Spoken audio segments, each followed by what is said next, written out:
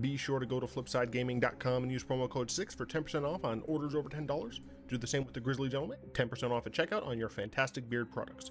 Or you could shop via the TCG Player affiliate link in the description down below to help support the show. And last but of course not least, you can go to Grey Viking Games with the uh, affiliate link below to pillage some sweet arena codes.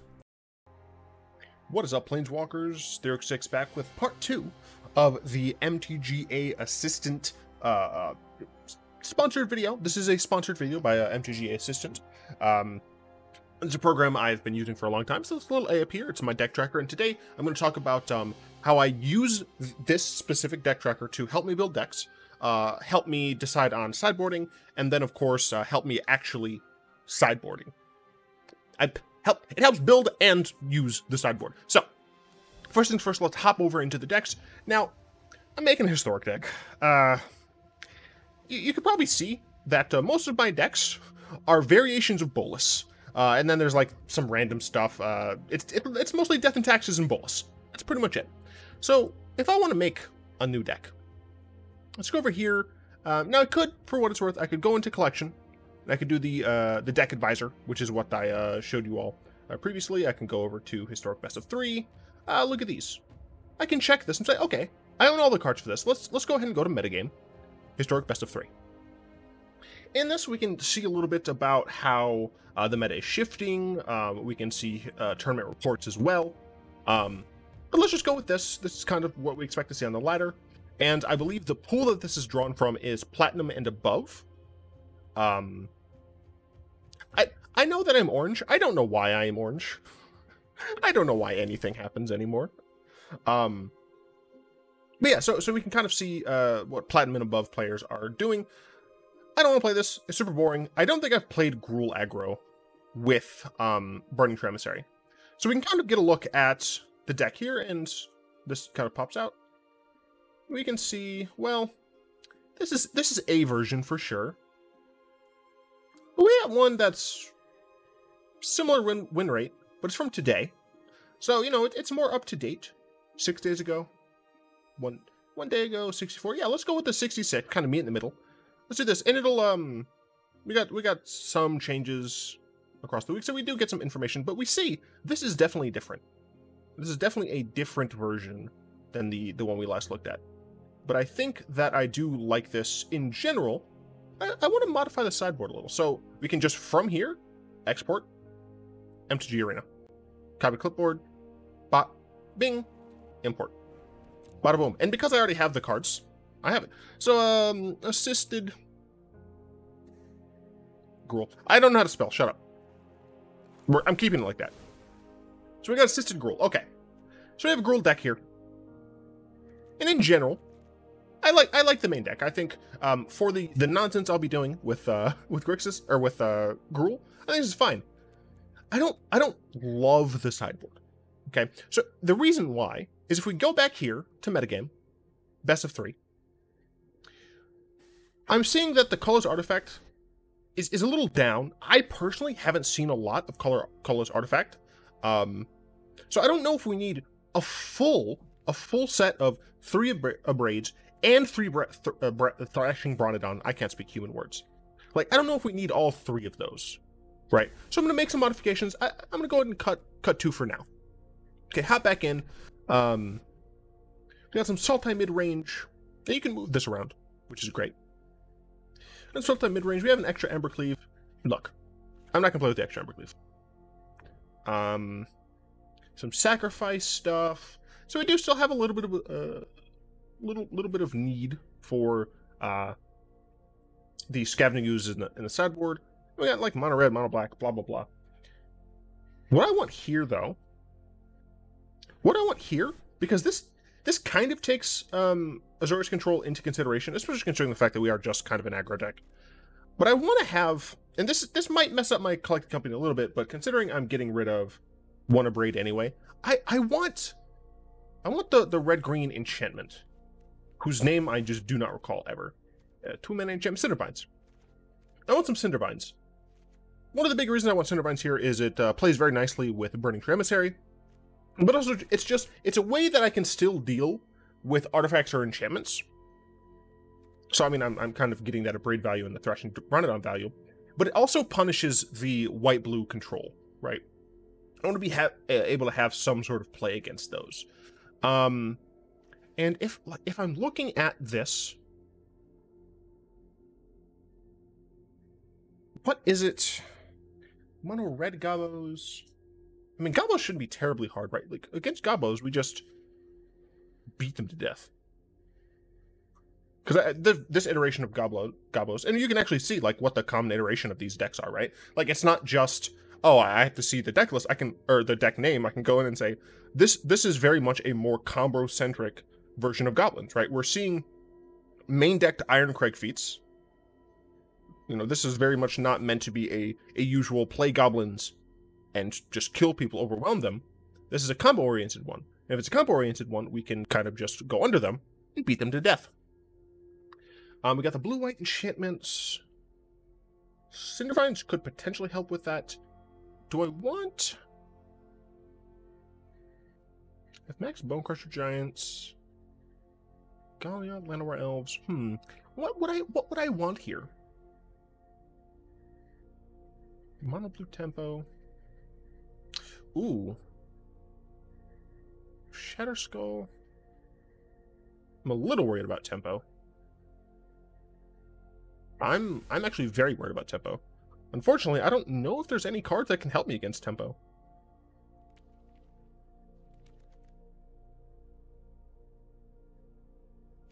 Just gonna put Abrade back. But I think I think adding Cindervines here is very good. So, so this is the deck we're gonna work with. Um, I made some modifications. I, I'm totally fine with this main deck. But another another thing that you can do, and another thing that I do, is when I'm in here, when I'm looking at these decks, right? It it gives you one of the most recent versions, right? And also, you can, as, as I showed, you can kind of click on these to see what are other people playing. You know, what have other people been playing? We see some Voltaic Brawlers. That's not in that's not in the version I have. This one has all of the Bonecrusher Giants in the main, but it um it also is running one fewer questing beast. It's running these. It's running this in the main. Rampaging Ferocidon is quite interesting. Fewer lands, but that also means that they're running fewer Ramunap ruins. Uh, you see kind of some of the other things here. They have some cages. I'm not too worried about uh, graveyard stuff uh, right now, but you can kind of see the other things that are that people are playing with, and you can kind of see. Uh, let's see. Let's do nine days ago.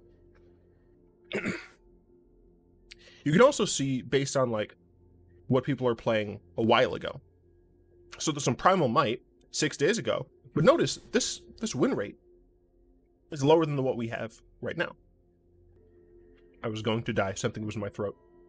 Anyway, so this is the deck. I like it. Let's go ahead and hop in to a best of three game. And one of the other reasons I picked Gruul is because Gruul is relatively fast, and I want I want to essentially just use this video to showcase um, how I use um, the assistant in making decks, making sideboards, and of course using the sideboard and using the the actual tracker function because that's the thing that I do the most is I use the tracker function.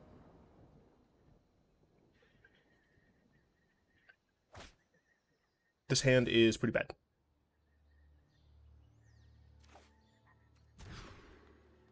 I can very easily keep his hand, and I'm honestly just going to get rid of that because I don't need it. We're going second. Unfortunate. Here, we can just see we have a percentage of land left, 34. Um, we have 66% non-land. Play our Pelt Collector. And it even will tell you the number you have left. So I have three out of four of my Burning Tree Emissaries left uh, three or four Pelt Collectors, etc., etc. And you can have the settings change such that uh, the, the, settings you can have the settings change so um, if none are left in the library, you can just hide them from it. I personally prefer to keep them there. Uh, it just helps me kind of remember. It just helps me remember, like, actually visually see what's in my deck because I might forget. Me no smart. Uh, I'm gonna haste. Uh, looks like we're going against some sort of uh, Lurrus nonsense. Um, and then, of course, what, what's really nice, what I really like about this, is that I can look at my sideboard during the game.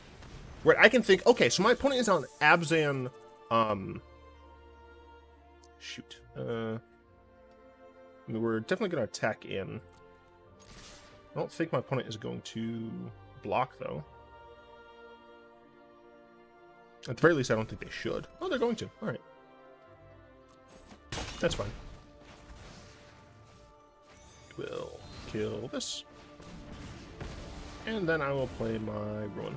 So, I really like this because during the game, I can already start thinking about what do I want to bring in, right? If, if we're going up against a Lurrus deck, right? This is a deck that maybe cares about the graveyard to some extent, but it's also, we recognize it's a token deck or a counters deck. We also know that because they're playing Lurrus, they're very, all right, that's actually fine. Um, they're very likely to have relatively few creatures that have a decent sized CMC, right? That they're just very unlikely to do that. I actually could have kept that in my hand, but I want to be able to use Ramunap Ruins at some point. Um, so like Abrades might be fine. Um, we might want the Scoozes. Probably going to want the Bonecrusher Giants. So I can already like start thinking about that. And another thing is that I don't have to keep track of everything my opponent is doing per se. Uh, I'm absolutely just going to attack with everyone. With Ramunap, you kind of just want to get your opponent to a certain point and then kill them. That's very ballsy of my opponent. But yeah, so here I get to see all the things that they've that I've seen so far, and this helps once you get to like uh, sideboarding and game three and stuff. Conclave Mentor. So yeah, so I definitely want to bring in the Giants and the Abrades, because it's just removal.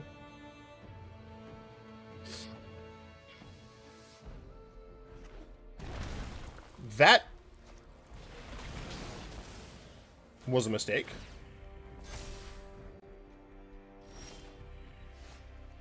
Okay, I didn't top deck a land, but I I essentially get a free attack here. No matter what, I'm going to kill one of their creatures. We got 31.3% uh, land, but the thing is, they're on two. So unless they have a way to gain... I mean, I guess they have Lurrus. They're really close to dying.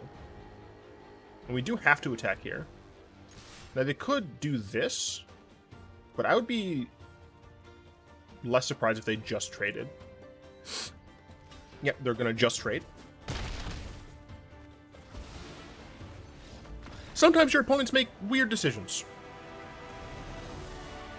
Okay, so as I said, I already want the Abrades, I already want the Bonecrusher Giants, right? So now, instead of like using a lot of my time on what do I need to bring in, I get to think, what do I want to take out? And I can be helped by that because I can see here, like, yeah, sure, I can go to view battlefield, right? I can I can do this. But it's a lot easier just to have the, the entire list here instead of needing to be like, all right, this is the stuff in here, got to keep track of this, got to do all that a nice convenient list, right? So in this convenient list, um, I'm noticing that it, the only removal that they've had so far has been sorcery speed. Okay. Do I want Shatterskull Smashing? I probably still do. I'm I'm a weirdo and I like don't like Embercleave. So part of me wants to just get rid of Embercleave, make the deck a little less bursty, and a little bit more um, playing to the board. Because the thing is, if they get going, they're going to outpace my creatures. So I need to not necessarily play the control, but I need to make sure that I have the ability to just kill their things. Um, I love Ahn-Crop Crasher here because it means that uh, I can kind of get in under them. Questing Beast is still fine, um, although without the Embercleave, it's maybe a little, a little bit worse, not a lot. Um, we didn't really see any graveyard shenanigans besides likely Lurrus, so I'm actually kind of confident in getting rid of the Scoozes here. But of course, I could be incorrect. We might get more cards that illuminate more um, for my next sideboarding.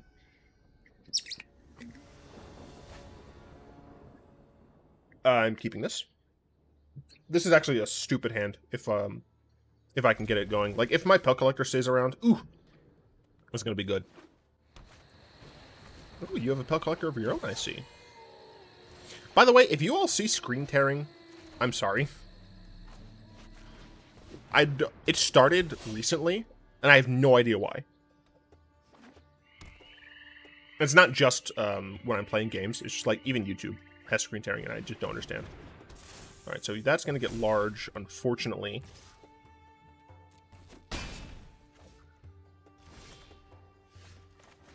Okay, so we'll emissary.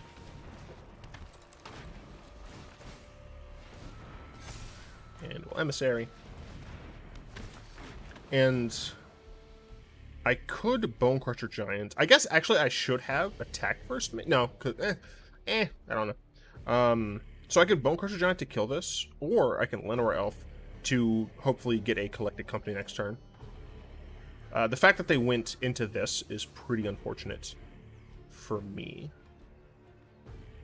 Bone Crush their face. Bone Crush the Winding Constrictor. Get through for two. Think I'm gonna go with the Llanowar Elf. Um, it's a slower, it's a slower line, but I think it will hopefully um, add up in the the long game.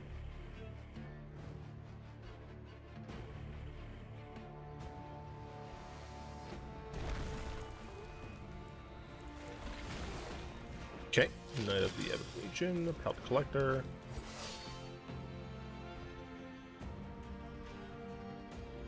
Willing to double block the Pelt Collector? Yeah, I would. Ahn-Crop Crasher.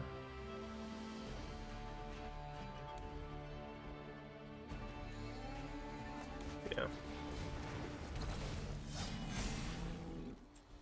Exert, attack. Two attacks. You can't block.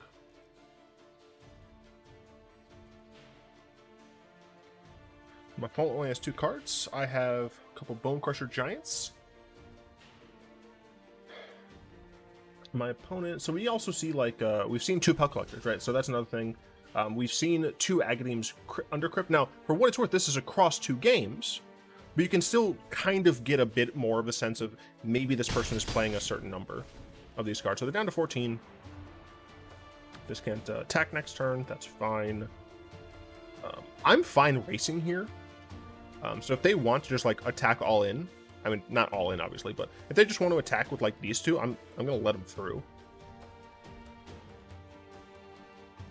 Because I want this to die and I can kill that relatively easily with this. Notably, they don't have white mana here. Yeah, if they uh, this has this goes up to yeah five toughness unfortunately.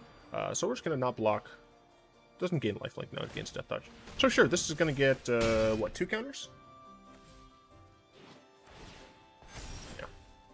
Another collected company. Very unfortunate. Very, very unfortunate for me. Um, I think we just attack with these. As I said, we are just trying to race.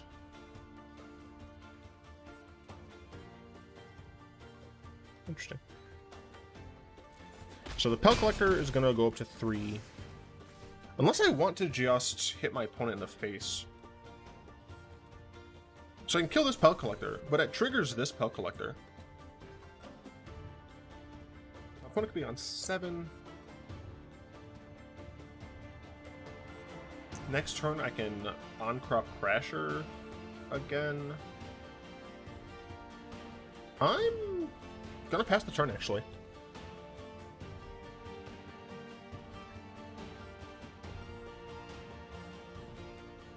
Their Maelstrom Pulse was made slightly worse because of Burning Tremissary.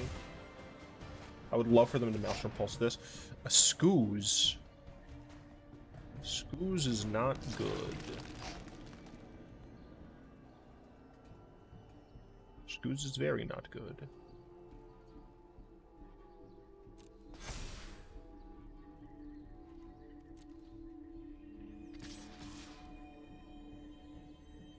Now see, the one, yeah, I was about to say the one Constrictor attack would be very strange.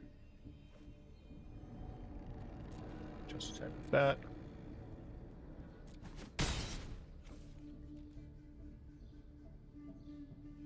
I think I have to just target their face.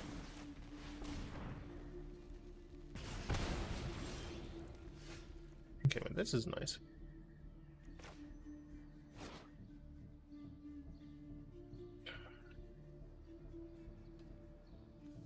Only one creature. Attack. Make it so that this can't block. Yeah.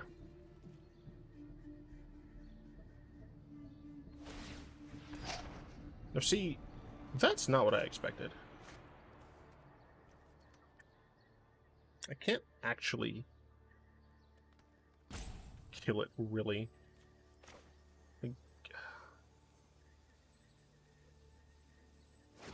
No, it's...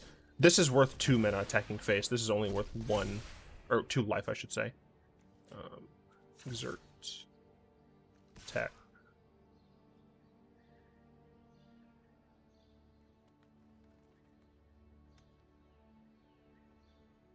Why didn't this get a counter on it? Oh, because I didn't lose four. uh, we attack like this. Make it so this can't block. It's probably block block. I attack like this. If I can just kill the one I'm fine with that, I think. Sure.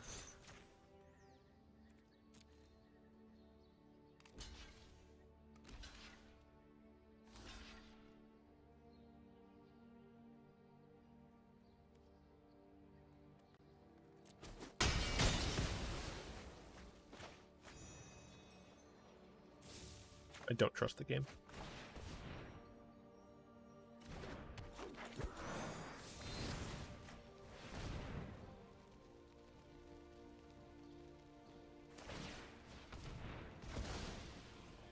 I guess I should have done that before.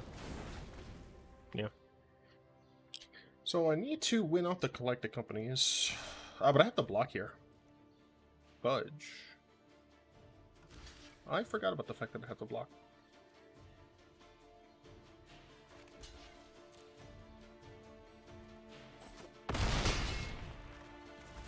Oh, new top deck lands. Another schools. Well, that is not great.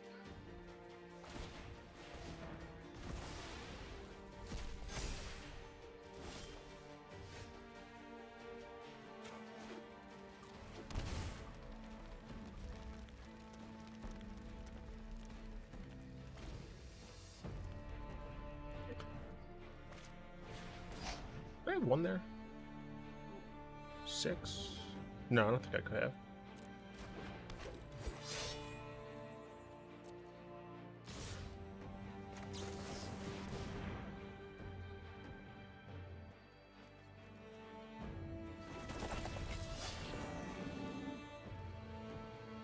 Yeah, unfortunately... No, there's no way I can actually block here. So I actually shouldn't have showed them that.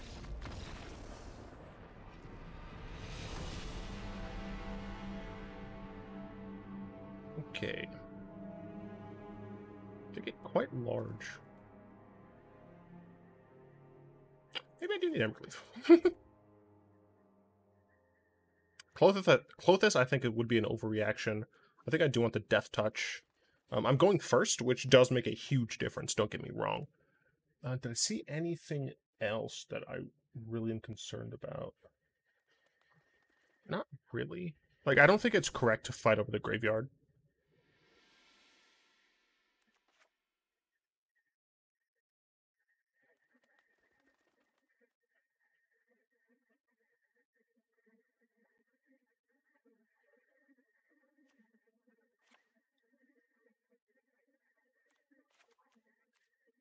You might be wondering why I, I was talking about bringing the Abrade so heavily for the second game and then I'm deciding to take it out. It's because I want, since I'm going first, I want to go back on the I'm going to go under them plan.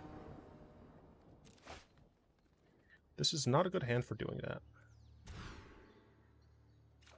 This is also not a good hand for doing that. But I do think I have to keep it.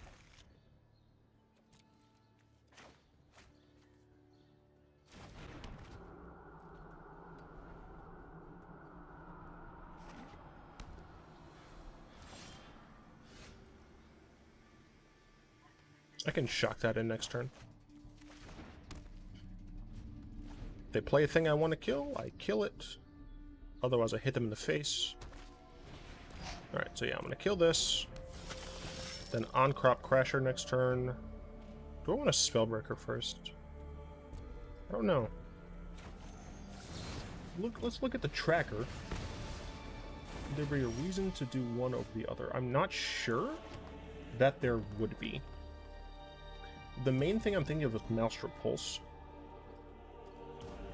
but it's likely going to be Crasher into Spellbreaker anyway.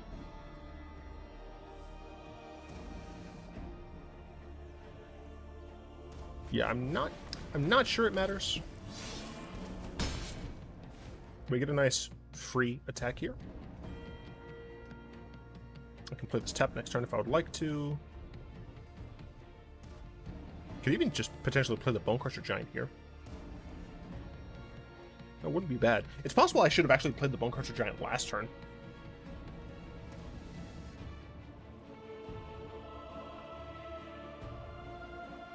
Let's see. What would I like? I mean, obviously just Burning Tree Emissary is just always nice to draw, frankly. A Scooz? I can't kill that. Because this needs double red. Would it be fine if it traded? I don't think so.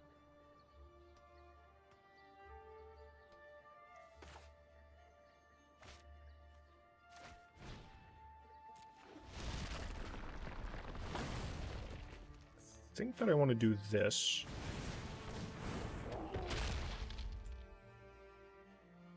Am I fine with the trade on that?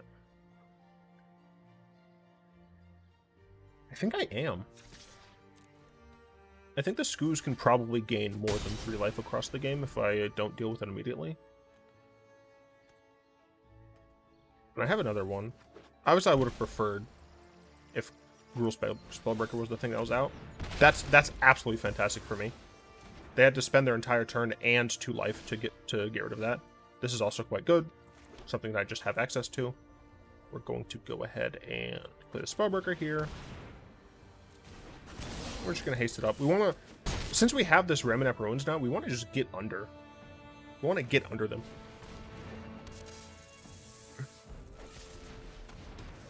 That's just rude.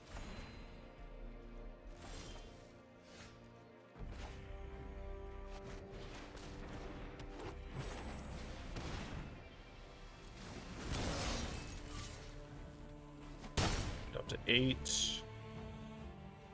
If I can if I can take them to two next turn, then we can potentially just win. Not what I wanted to see, unfortunately.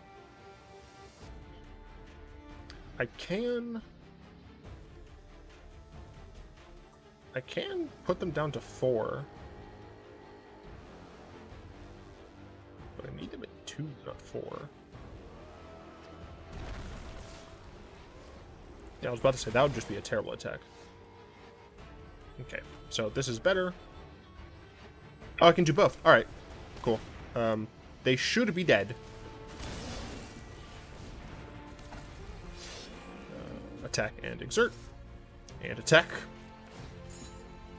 Tap this. So this puts them to two. They have to gain life here, or they just die to my Ramunap Ruins. Uh, let's see if they have another Scooz. Um, we've seen two total Scooz from them. Uh, and we've seen that over the course of uh, one uh, one game. I think last game we saw two Scoozes. So that is not it, Chief. That does not do it. We kill with Ramunap Ruins.